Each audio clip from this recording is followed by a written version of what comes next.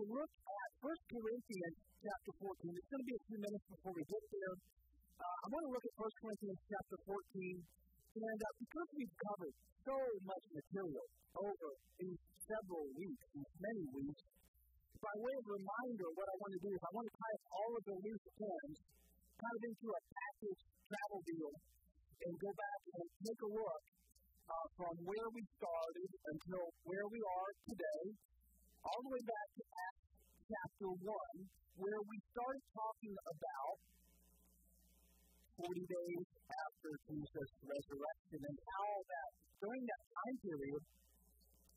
He appeared to his disciples and were greatly disheartened because they had lost their Savior, so they thought in the crucifixion.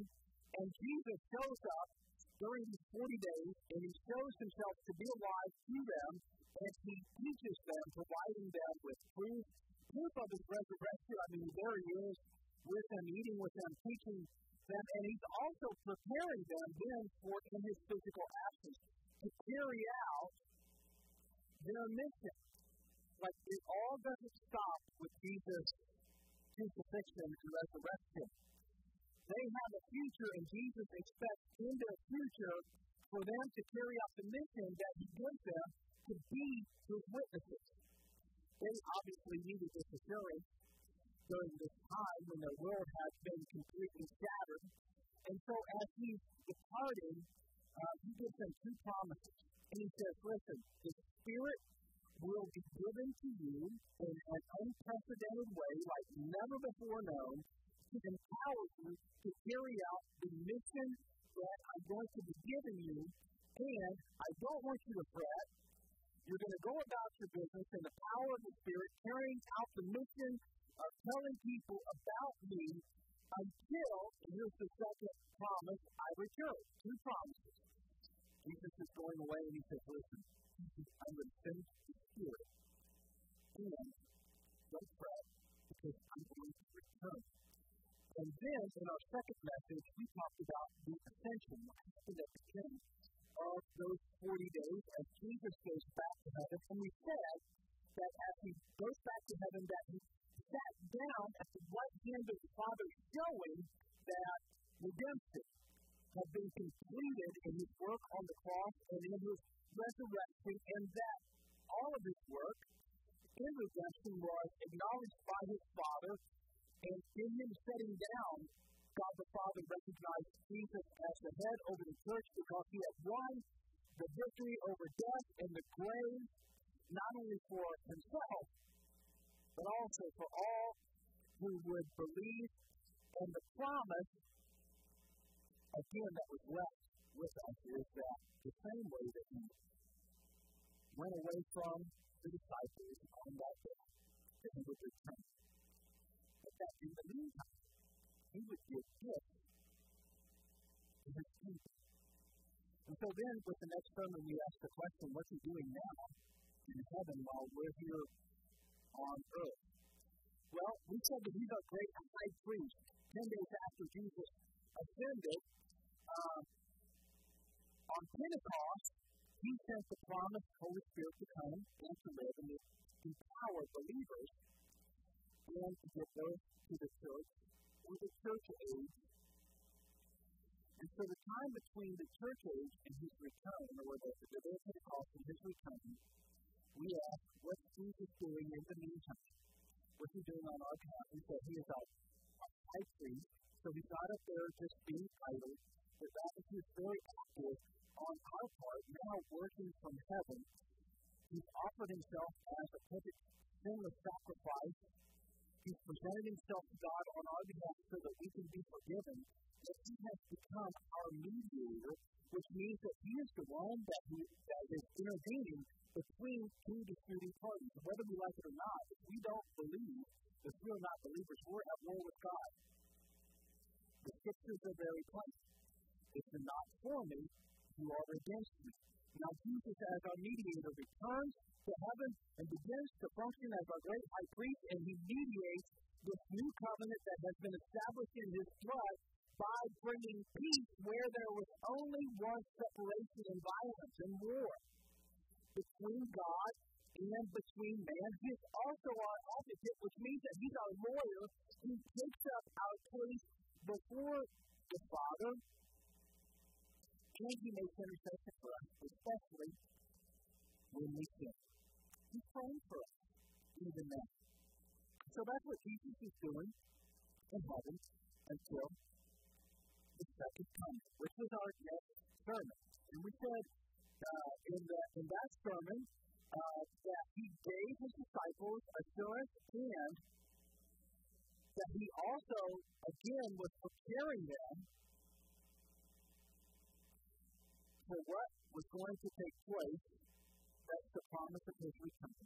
In the meantime, again, it comes back to this mission that the church is on mission for Christ to preach the gospel in the power of the Spirit until Jesus returns, which is the climax and consummation of the ages, the great hope and the longing of his followers.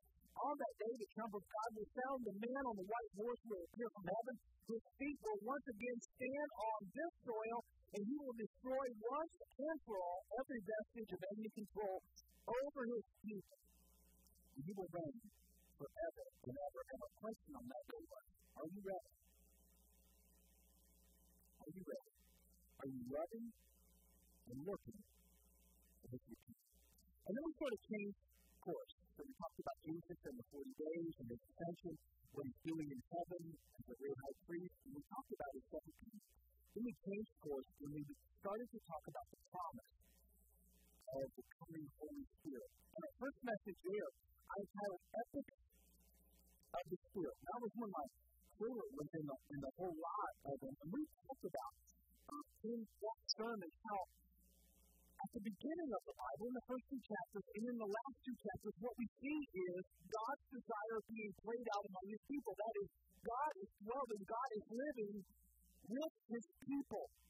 In the beginning, that fellowship is broken in Genesis chapter 3, and from that point on, God begins to work to restore the relationship that was broken. And in the Old Epoch, or the Old Testament, what we see is that God sends His Spirit, His very presence, to dwell in and to fill first the tabernacle and then the temple so that He can be in the midst of His people, like He desires.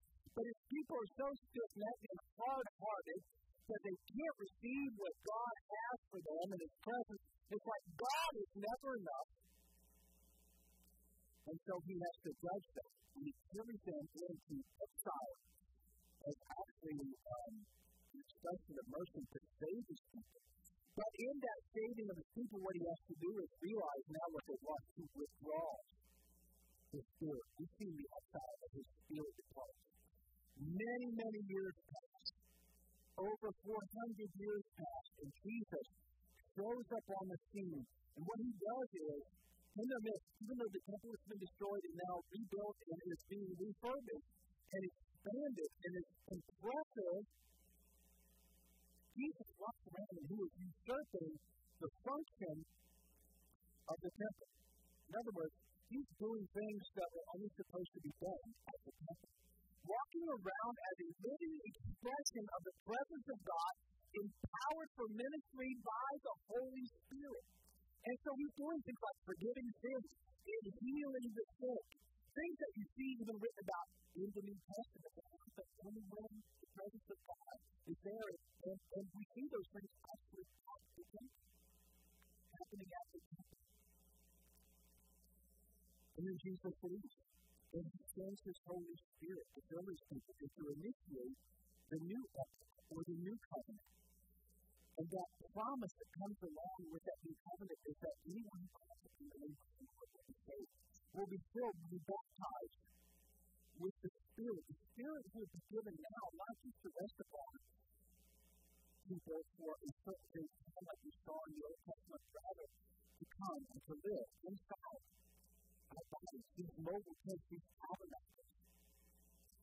And the invitation is that if the Spirit comes, that we should be raised to newness of life, even Christ has been raised by the Spirit, and that we might become living expressions the of God in the world in which we live, that we might, because that's exactly we are, the very temple of God, and we are walking around now in the age of the Spirit, in the time of peace, until the return the age of the Spirit. And then my favorite of all was the beauty of contrast, and that was the Mother's Day message. He said that God has been working with women since the very beginning of image bearers. And it's interesting that that's one of the things that seem to plague women. Some of the uh, pressures that culture puts on women as uh, image bearers, they struggle with image because of all of the pictures that are out there of what it means to be a perfect woman with access to your picture not my picture.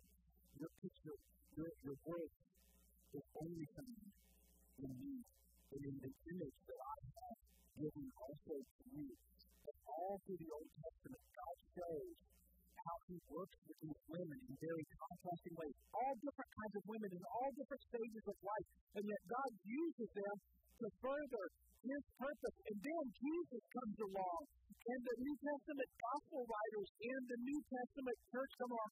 And what they do is they simply affirm what God has already been doing with women. He's been working with women just like he has been working with men, but it becomes so much more clear in the New Testament because the promise of the coming of the Spirit is both that men and women will be filled equally with the Spirit, and God begins to do astounding and miraculous things through women in the establishment of the church right alongside men. And for 2,000 years of church history, that has been neglected. But a plain sense reading of the New Testament says that is not so. God uses a heart that would be submitted. Because the promises, Spirit, would be submitted. And we talked about the work of the Spirit in our next sermon, we said, just as a reminder, that the Spirit is a real life person with feelings and with intellect, and that he is co-equal with God, and that makes him God himself as the third person of the Trinity, and that we see him from beginning to end exercising his power in creation, taking what is void and formless and dark and filling up all of those empty places, turning on the light and giving life in the picture of the creation. And we came to the conclusion that just like He did in creation, He wants to do in us as God's new creation, filling up our lives, filling up all the void places, all the empty places, all the dark places.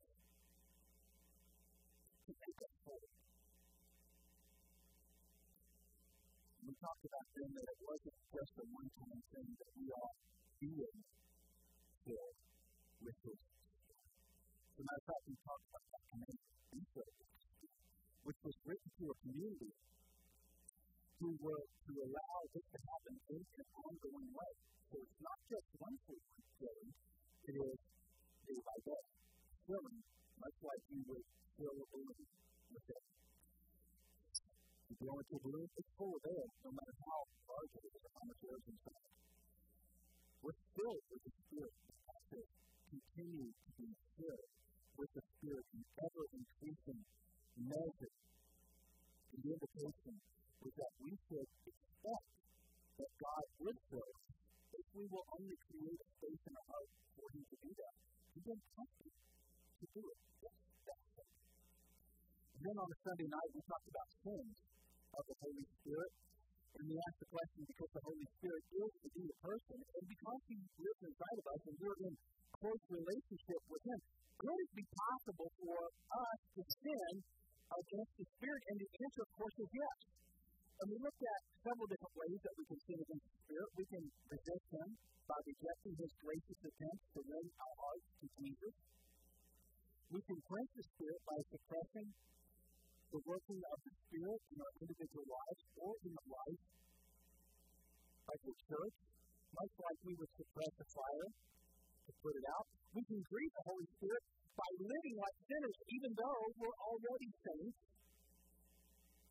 And uh, we certainly don't want to insult the Spirit, which is um, blatantly and willfully sinning against Him, because what that is is I mean, that's a very, very dangerous place to be, to insult the Spirit. It is a sign that we are turning away from our life of faith to infinite sin and the reality of the gospel. Where we once had faith, now we've lost faith into our worship. And then, of course, we talked about blasphemy against the Holy Spirit, also known as the unforgivable or unpardonable sin. And we said that that was a conscious repudiation of the fact that God is at work in Jesus, accomplishing his plans of salvation through the power of the Spirit to the point of attributing the work of the Spirit to the work of Satan, making saving faith impossible because forgiveness is rejected, scoffed at, and scorned. That was all placed within the context Jesus' healing and religious leaders saying that he was not healing in the power of the Spirit, but rather in the power of Satan himself. That's how hard their hearts were. And when your heart is that hard, the reason the sin is unforgivable, unforgivable is not because God is not willing to forgive you. It's that you are in unbelief, unwilling to ask for forgiveness because you don't think that you need it.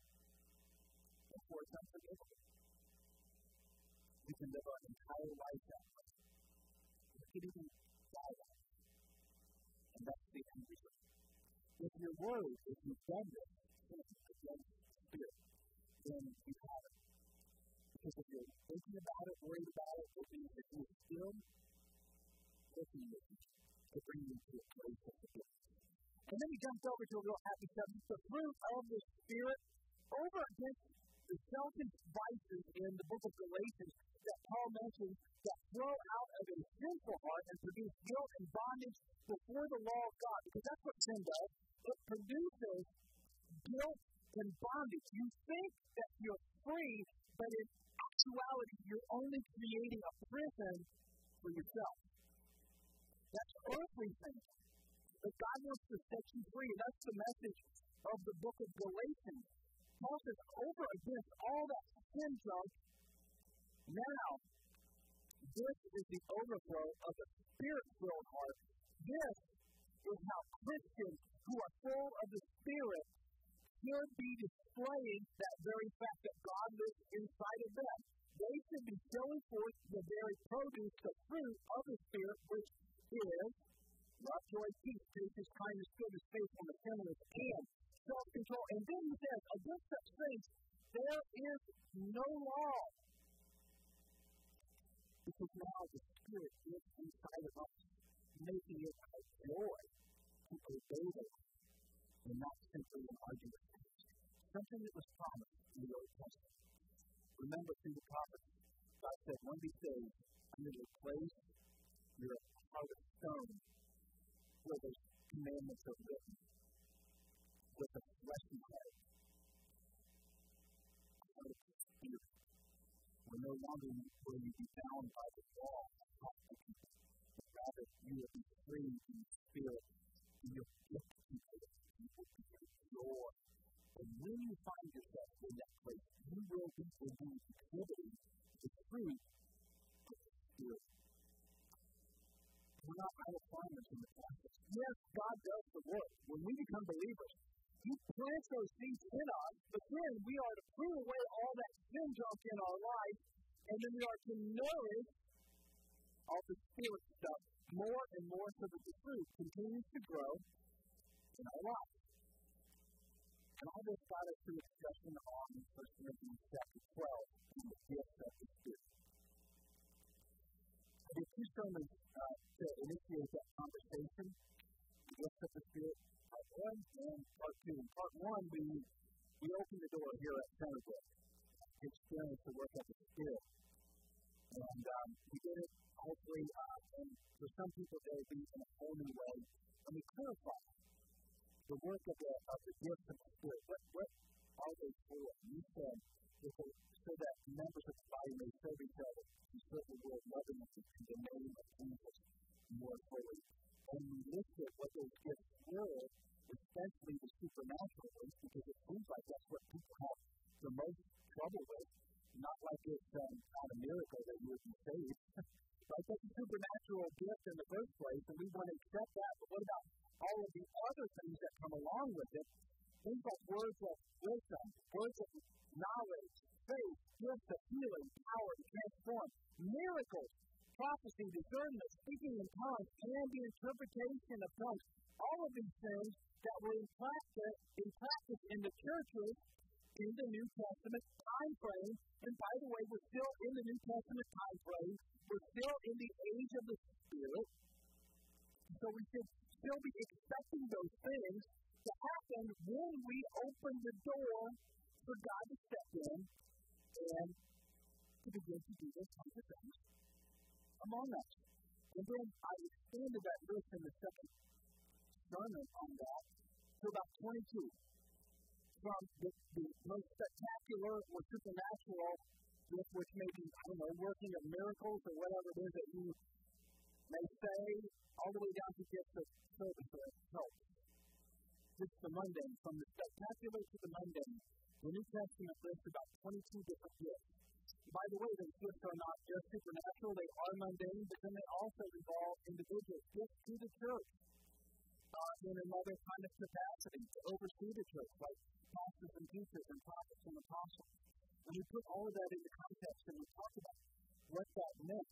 And we also established the fact, and I just mentioned that nowhere in Scripture is it ever indicated that the gift of the Spirit ceased. But rather, I think it follows the training of Scripture that the gift is still in operation, being given to the church at Pentecost until Jesus returns.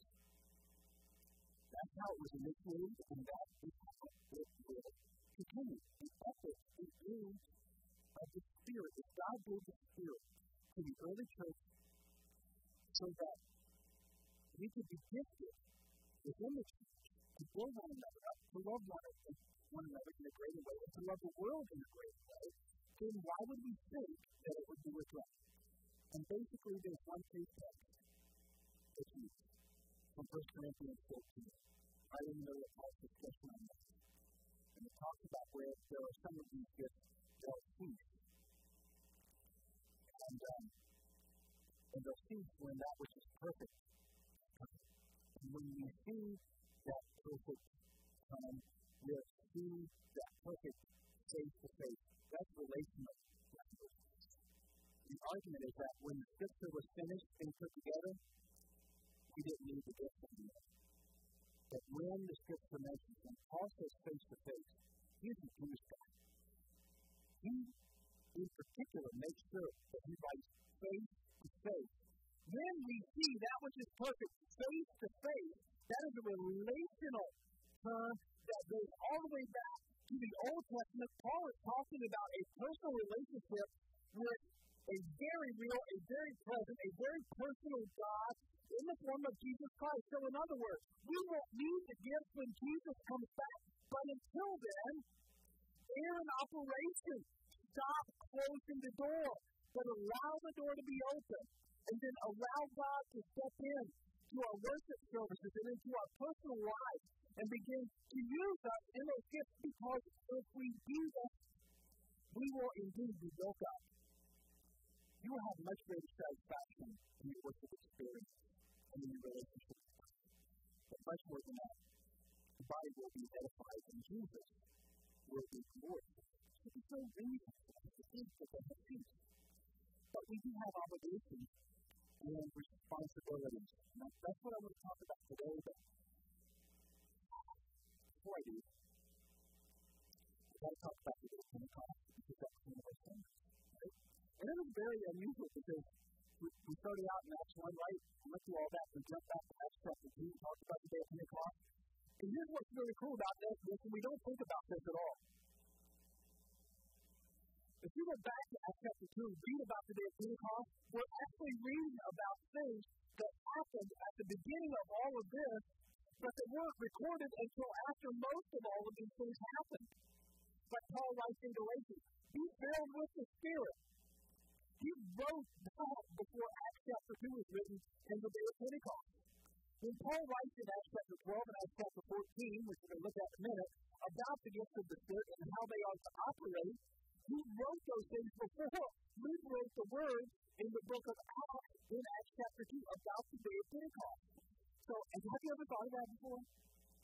So, the new church, the early church, they're trying to figure all of this out even before those events are inspired and written down by God to Luke about how the church was done. They're still trying to figure it out, which should be great news for us because, hey, when God begins to move, you know, what we try to do is we try to figure it out.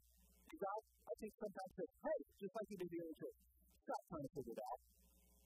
Just accept what I'm doing in your midst. Maybe that's the message for today. Stop trying to figure it out. And allow God to work in your midst. On the day of Pentecost, it ushered in a whole new day, a whole new baptism, a whole new filling. The age of the Spirit has come right in the middle of this present age, and things began to happen like Jewish people thought were going to happen at the end of days.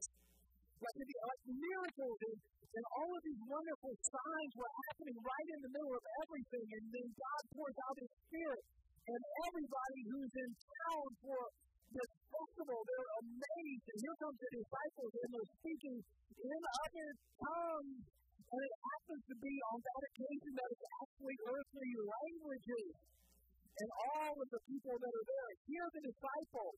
The disciples aren't preaching to them, the disciples are worshiping God. Go back and read it. They're telling of the glories of God because that's what the gifts do as well. You know, manifestation of the glory of God in our midst. And when we close the door, I wonder if we don't breathe the Spirit so. And that's something that we don't want to do. All that begins on the day of Pentecost the invitation on that day was that we do like the early disciples, and we wait, and we pray, and pray.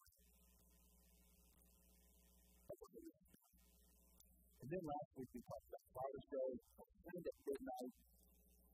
So, we're almost home from vacation, turned down our street.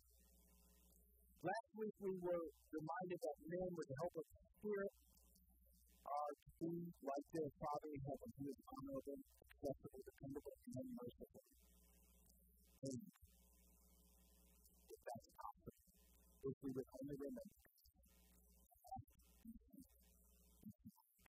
and we trust that if we would, that we will be able to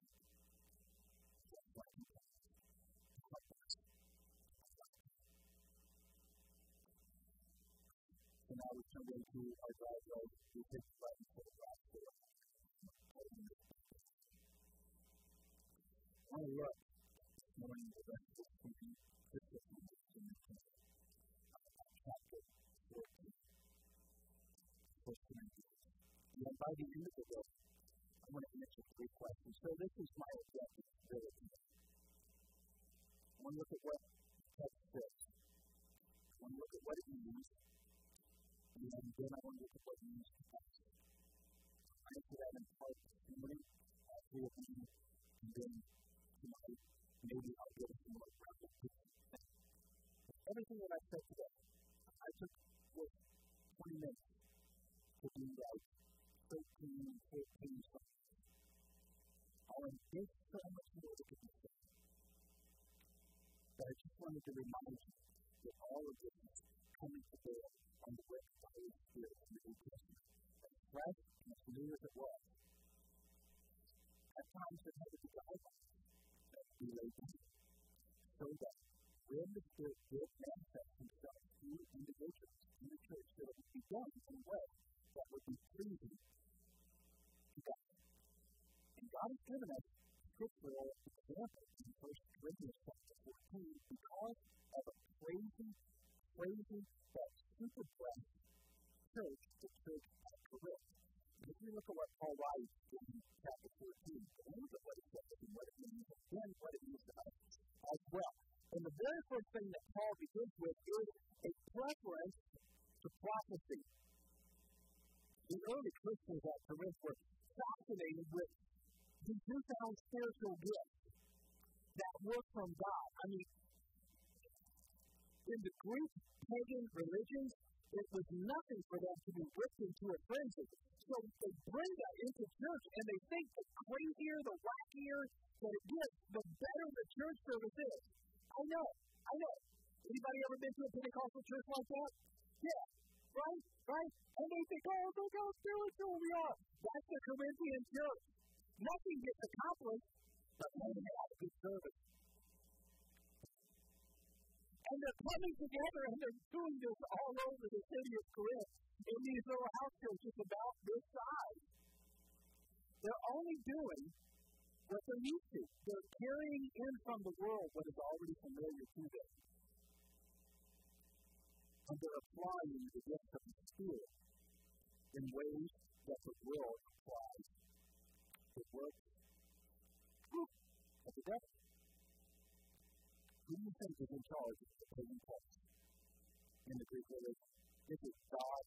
Well, of course, God is in charge of everything, but I'll tell you who appears to be running the show is demons. And Paul says so in other places.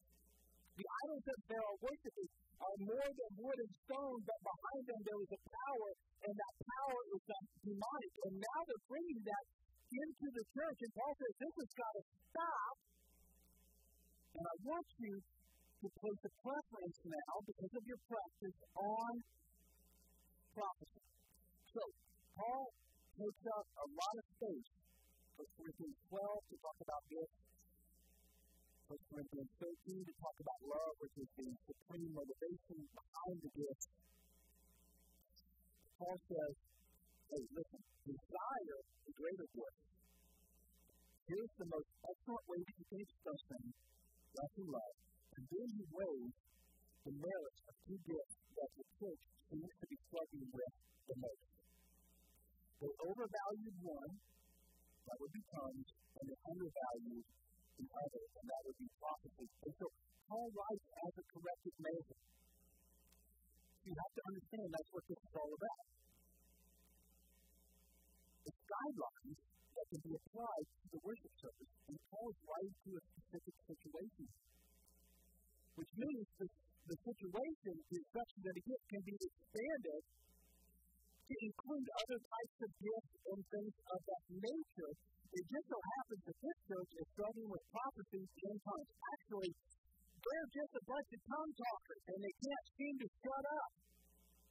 And it's causing chaos and confusion within the church, and nobody's getting built up. So Paul has to write to correct and instruct them. And he begins this chapter by looking at prophecy and tongues in new contrast them in order to begin to restore the health that was lost. And so here you get a little window into what's happening in this church, right, as you read through the chapter. So he's looking back at what he's already said.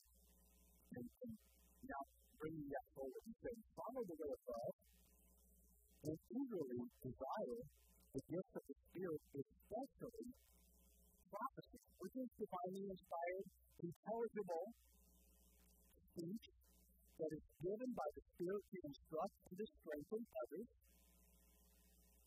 It's the same necessarily as, necessarily as preaching here, but rather it's when God moves on your heart within the context of the local gathering, the church service, with a word of prophecy, be show that, so that the church can be built up.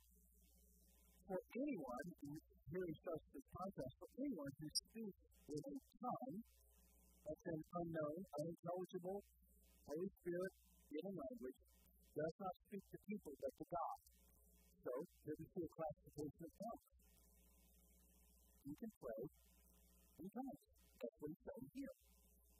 Indeed, no one understands them. And, and this, is in the context of the church. Okay? Anyone who speaks in a tongue, an unknown, unintelligible language, they're speaking to God, they're praying to God. Indeed, no one understands them. They utter mysteries by the Spirit, and the Spirit is the source. Paul rightly says so. Verse 3 But the one who prophesies speaks to people for their strengthening, encouraging, and comfort. For 4 Anyone who speaks in a tongue edifies themselves, but the one who prophesies edifies the church. In other words, when you come to church, all you're doing is building up yourself in an undue fashion by putting too much emphasis and too much expression on this speaking in tongues. Verse 5 then, Paul is with the corrected measure. I would like every one of you to in tongues, but, which also indicates that maybe everyone wanted, but I would rather that you prophesy. And by the way, notice, and I'll mention it later, this is a blanket statement for everyone who comes to church. Because there are church services, when they got together, everybody participates in some form or fashion according to how the Spirit had gifted them. So, I would like every one of you to speak in tongues, sure, but I rather you prophesy. The one who prophesies is greater than the one who speaks in tongues. What do you mean by that? greater in value in a spiritual acceptance. Not that they're any more spiritual, but rather it gives up more value in the church service to offer words that people can understand. Unless someone interprets so that the church may be edified. In other words, and maybe here's another category of tongues, a message in tongues given for the whole church. Keep your mouth shut unless there's an interpreter present because it will do absolutely no good. Oh, you'll get yours out of it, but nobody else will get anything out of it. And that's what Paul is fighting for. That's what Paul is correcting here. He says there's a problem with tongues, and they're not clear to everyone involved. So he writes in, in verse 6 Now, brothers and sisters, if I come to you and speaking tongues, what good will it be to you unless I bring some revelation or knowledge of prophecy or word of instruction. In other words, Paul said to the church, hey, we need clear communication in. So back off the other stuff, focus on what's clear in the church. And then he gives three analogies, three metaphors help them grasp what he's saying. Because apparently, it's a, it's a mess in the church. So he says, listen, even in the case of lifeless things, which I think is a little bit of a backhanded flag, even in the case of lifeless things, but you're nothing special. Even in the case of lifeless things that make sound, musical instruments, such as a pipe or a harp. How will anyone know what the tune is being played unless there is a distinction in notes? We won't know the song unless you put the notes in the right order and play them at the right time. And all this tongue talking is doing nothing. We won't even know the song you're trying to sing like a musician would be trying. I mean, that would be awful, wouldn't it? If they got up here and everybody was playing something different. Believe me, I've heard that happen. It's not something. One thing that's what sounds like in the church. It sounds like a bunch of music, and half the people are out of tune anyway. And the fact that it's not that they're out of tune, it's that they don't even know that they're out of tune. And they're just thinking they're all this stuff. I don't know if I said that for me. over everybody. That's why I was coming. And then, after that, he likens it to trumpets that sound a clear call to get the people ready for battle. So, all the sun talking is like a bunch of jumbled up music. It's like an unclear call to battle. Somebody blows the trumpet. If it's muffled, if it's unclear, if the are played wrongly, then how would the soldiers know what to do? Should they advance? Should they retreat? Ultimately, what would end up would be in battle that they would die, knowing what to do. And if all this continues, I think Paul is saying, by way of illustration, that if you don't stop it, you're simply going to die. You're going to consume the church upon yourself so much so that it's going to die. Because nobody knows what's going to happen. So he warns against that. And then in verse 10, he talks about language. So there's the, message that undoubtedly there are all sorts of languages in the world, yet none of them is without meaning. If then I do not grasp the meaning of what someone is saying, I am a foreigner to the speaker, and the speaker is a foreigner to me. Verse 12, so it is with you. Since you are eager for the gift of the Spirit, try to excel in the ones that build up. Language is a gift for a purpose to be able to communicate. Tongues, you're communicating with God. It's not helping anyone else unless there's an intention. Be quiet and quit using the language that you can use just because you can. And then he provides a solution with uninterpreted tongues. Verse 13, for this reason, the one who speaks in a tongue should pray that they may interpret what they say. So it's up to the person, first of all, if you're going to do this, pray that you can interpret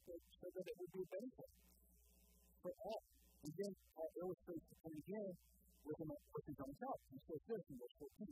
For if I pray in the tongue, my spirit prays, but my mind is unfruitful. So, what shall I do? I will pray with the Spirit, but I will also pray with understanding. So, you see the balance here. Paul says, yes, I can pray in the Spirit, but if I do so, it's not really benefiting my mental faculties. It's not like it's mindless thing but I'm not benefiting with more knowledge. I'm simply relating to God and I'm getting edified by it, sure. But I don't stop there. I also pray with understanding so that I can also be built up in my my relationship with God in a cognitive way, in a way that resonates with my mind. So, isn't that what we say and do so often in the church? Um, we, we talk about, you know, I, I know it's here, but I don't know it's here. And we all kind of know what that means. Um, but that's kind of what Paul says. Listen, you can have it here, but it doesn't mean as much if you don't have it here too. So Paul says, listen, you can have it both ways. You can have the best of both worlds. That's what I'm striving for. So that I can not only be built up in my spirit, but also in my understanding. And that's what he wants for them. Verse 16, otherwise, when you are praising God in the Spirit, how can someone else who is now put in the position of an inquirer, so interesting, isn't it? NIV uses the word inquirer to say amen to a thanksgiving since they don't know what you're saying. So here Paul introduces the fact that we should expect in our churches people who are coming just to inquire about the Lord. And people obviously are coming to church to inquire. So Paul addresses a very real issue and says, listen, if somebody comes in and they're seeking the Lord, they're inquiring about what this whole Christianity is all about, and all you guys are doing is talking in tongues, what good is it going to do them? They can't even say amen because you don't know what you're saying. And yet you cause confusion. Why are you doing this? Please, Paul says, stop. There's a place for both of them. Don't overemphasize one, but use good judgment so that other people can be added to the faith. Verse 17, you're getting things thrown up, but no one else is edified. Oh, there's the key. All of a you're being selfish. You're looking all spiritual, but in reality, I know what's up, with being selfish and no one else is being benefited. And here he has in mind not just the church, but also anybody that would come and inquire about the Lord. You are directly casting a dark shadow on the name of Jesus within the things of spiritual gifts and the way that are. So then Paul says, I thank God that I speak in tongues more than all of you. So Paul is an avid tongue talker. But out of consideration for others, he's saying, I'm willing to leave that at home. Have you ever heard that before? I said, listen, yeah, I speak in tongues more than all of you, but it doesn't mean anything. I'm willing to leave that at home. And the reason I know that that's what references to because it's because of criteria. But in the church, as opposed to at home. But in the church, I would rather speak five intelligible words to instruct others rather than 10,000 words in a tongue. 10,000 in Greek is the largest number that there is. Oh, you can do it all day long. Doesn't mean anything in the context of the church service unless someone is there to tell everyone else what's being said. Also, just say five words and go home. If that's the way that it's going to be. Because you, you do more good. That way. And then he launches into a hard saying. And I'm running out of time, so we're probably going to get for 25 and come back to the consumer. And it says this, brothers and sisters, stop thinking like this. They were trying to impress one and anyone else that might come in. Selfishness at the expense of others. Friendship, brothers and sisters, stop thinking like children in regard to evil behaviors. In other words, be innocent in this whole matter of anything evil. Be innocent of wrongdoing. Don't fall into this trap. But in your thinking, be adults. But you have within your ability to control what the Spirit is doing. These gifts are subject to you as you obey. So control the gifts of the Spirit. That God has given you. Here's the whole thing. Verse 21 in the law it is written, with other tongues and through the lips of foreigners I will speak to the sheep, but even then they will not listen to me, says the Lord. Tongues then are a sign not for believers, but for unbelievers. Prophecy, however, is not for unbelievers, but for believers. I mean, what in the world is Paul talking about there? Paul harkens back to an Old Testament reference in the book of Deuteronomy and more specifically Isaiah, and he's explaining what spiritual maturity looks like from that vantage point in corporate worship. And so he cites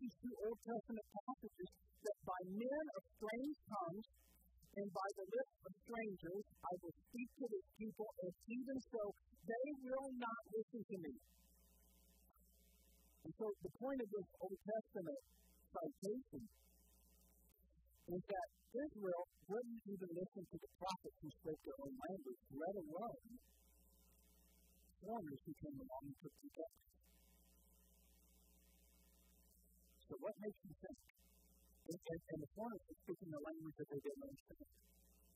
So what makes you think that if you're speaking in tongues, that people are going to understand and turn to me? I mean, the voice of the prophets was calling, they were calling people back to God. Paul is saying, listen, you're talking in tongues. It's like a foreign language, like in the Old Testament. I mean, the people didn't even listen when it was spoken in their language. Why do you think they're going to listen?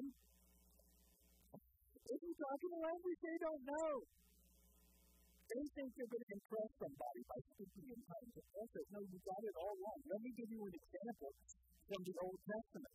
So the sign of tongues was really for the believer. That's what's in Paul's mind.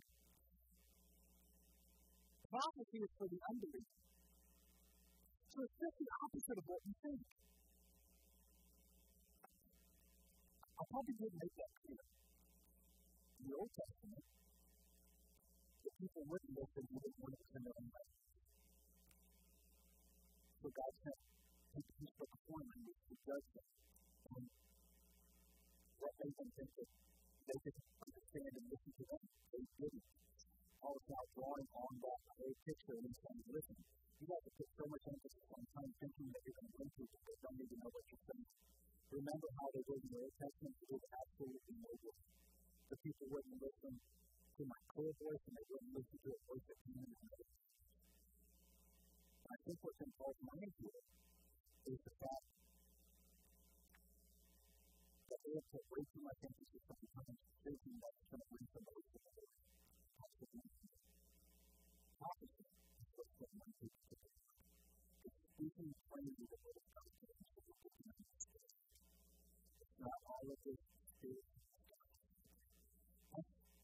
So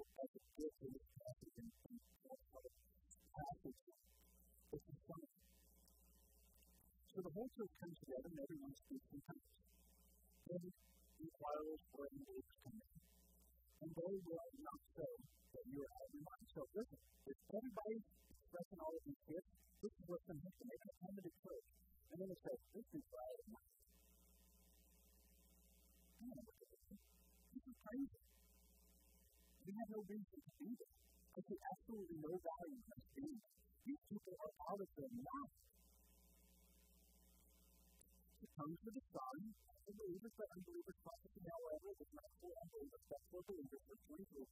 So if the whole church comes together and everyone speaks in tongues, and inquirers or unbelievers come in, you may not say you're out of your mind, but, verse 24, if an unbeliever or an inquirer comes in while everyone is prophesying, they will be convicted. Listen, this is what should happen in church okay? When the Word of God is spoken clearly.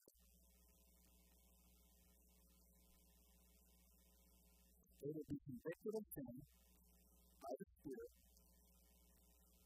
and they will be brought under judgment by all. In other words, they'll be called to account. Sin in their life by the church. Pretty intimidating, isn't it? An inquirer an unbeliever comes in, they're touched by the Spirit, by prophesying, by the preaching, teaching of the Word. They're cut to the heart. They're called into question their bad behavior. What do they do then? Then they confess their sins so that they can be forgiven and accepted into the community. Why? Because the secrets of their heart have been laid bare. In other words, they make a, a public confession. I'm a sinner. I need to be forgiven.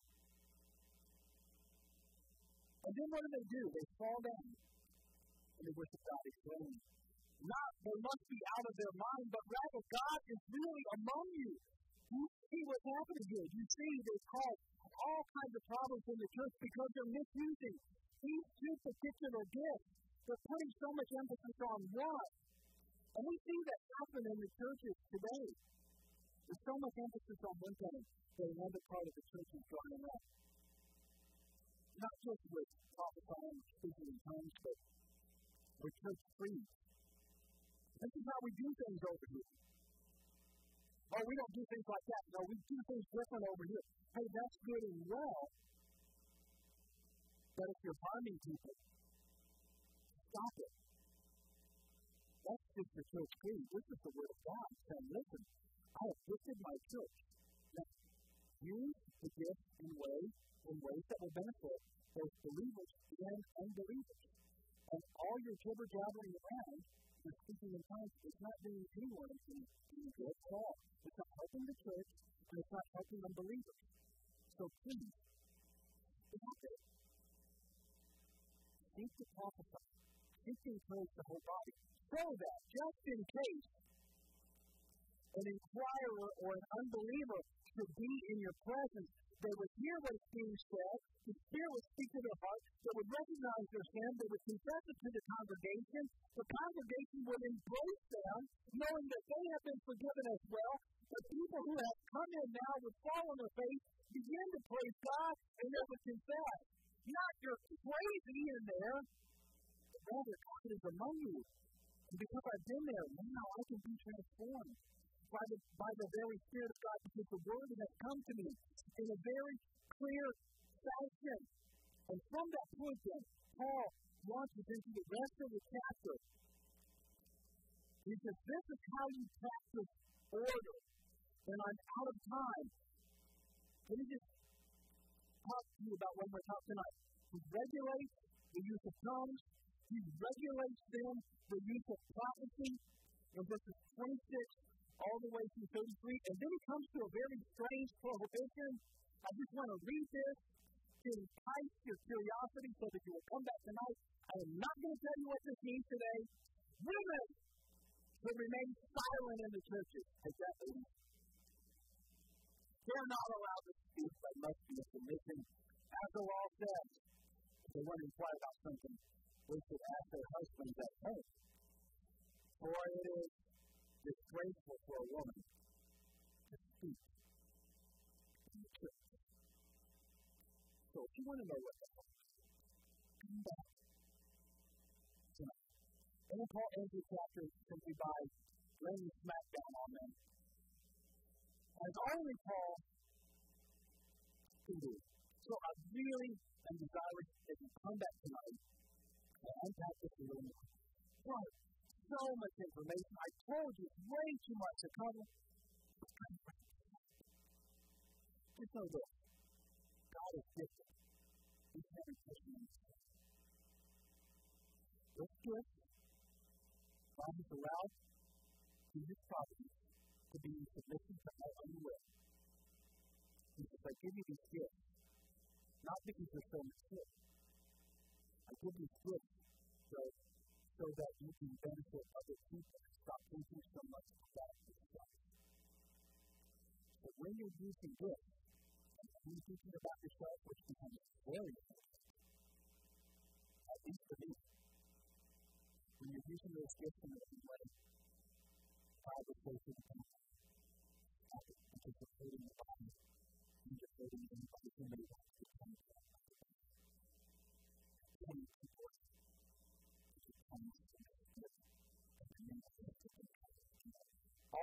for the sake of your little itty bitty spirituality and your big prayer.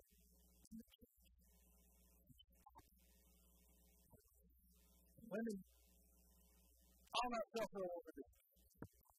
But you try to come back to find out what they thought about the family. So tonight we'll also talk about rules of how we evaluate these gifts in service, things that we look for, and how biblically it's supposed to be done, and how so often it's not done in the church. And then again, we're going to take a little time to breathe and to rest. And in this time, whether it's tonight or next week, we're impressing all of this God. I'm just giving you the information. I'm just a dispensary of information right now. We'll see what God does. Please forgive us. So, Lord, we're out of time for this morning's session. I pray that.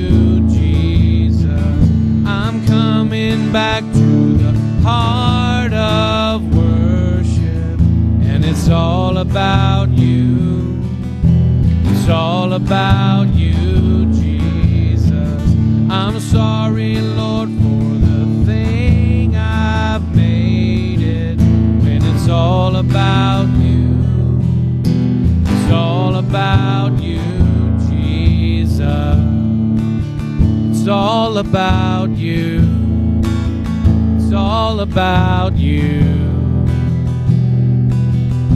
It's all about you, Jesus. It's all about you. It's all about you. It's all about you.